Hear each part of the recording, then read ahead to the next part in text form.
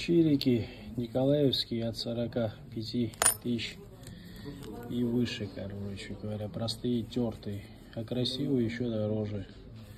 Имейте в виду. Вот. Вес 8,6, ну вот это вот допустимая норма. А если чуть-чуть там превышает вес, то это, имейте в виду, это советский чекан. Они больше весят. Вот такие череканы, короче. Такие походившие, тертые. Чисто инвестиционные, не коллекционные точно. Видите, да? А это вон, полтинники. Это рубли. Полтинники тут все простые. А вот 22 и 20. Вот полтинник. 22 это АГ. Дороже стоит там до 3000. 27 до 3000. 21 до 2000. Что еще?